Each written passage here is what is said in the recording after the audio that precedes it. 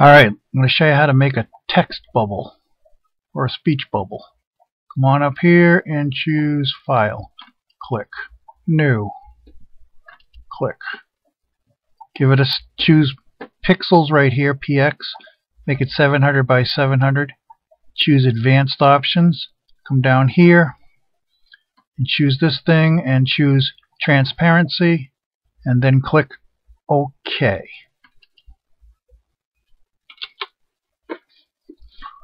Then come up here on the left and you can either, if you want one that's kind of rounded oblong, use the ellipse, the ellipse tool.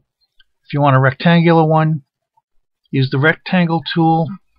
They're, the, all the steps are pretty much the same except the rectangle tool has an, a rounded option, a rounded corners option. So I'm going to show you how to use the rectangle tool. Choose that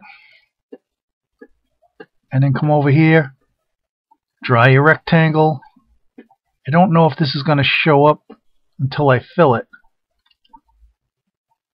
But before you fill it, over here on the left, it says rounded corners. Put a check mark in it. And then you can make the number go up and down here. Uh, my mouse is a little sensitive today. I've been trying the setting. So you can go down to zero, which is a square corner or go up to more rounded corners. Uh, there's 51. Then I'm going to choose my fill tool and I'm going to switch my colors around and make the white the foreground color. And then I'm going to come over here and fill it. And you can see the rounded corners on it. Now I'm going to come up here and choose the free tool, free select, and just going to figure out where you want your little, I don't know what they call that thing, but click and drag.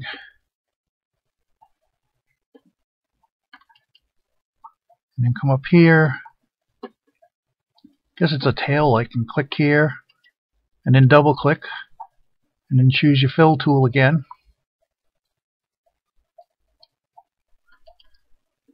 Come on over here and fill it. Then come up here to select, choose select none, and then come over here on the right where your layer is,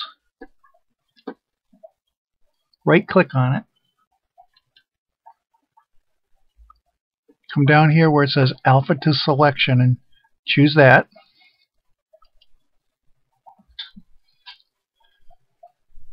and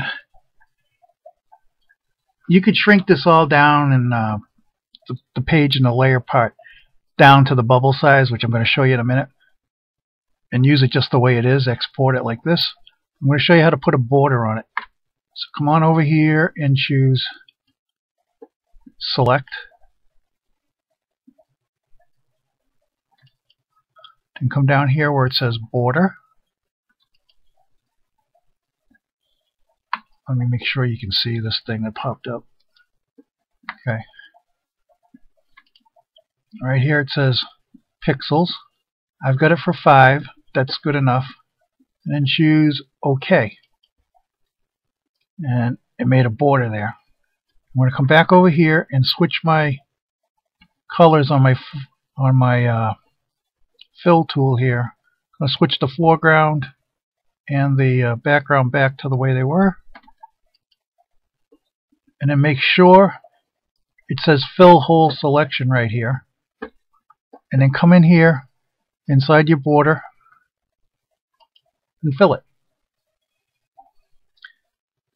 And then come up here to image and choose crop to selection.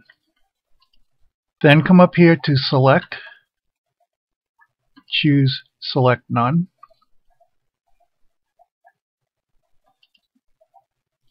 and there's your your saved uh, text bubble. You can import it to any program and use it. And it has a see-through background, so you don't have to worry about not anything else showing up, just the text bubble. But say you want the um, this little tail thing on the other side, you can just come over here, choose the uh, flip tool, click it, and then come over here and click on it. So anytime you make a text bubble, you can save a left and a right. Next thing to do would be, of course, to save it. And then come up after you save it, do export. And uh, text bubble.